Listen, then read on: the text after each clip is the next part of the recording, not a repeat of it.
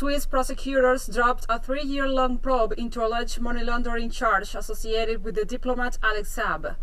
The now shuttered investigation focused on an alleged connection of Saab with 22 accounts at the Swiss financial services company UBS, according to the investigative portal Gotham City. Prosecutors concluded that evidence from this probe was insufficient to bring formal charges against Saab and another man. According to Geneva's prosecutor wage information for UBS, the account movements were between accounts at banks in Switzerland only.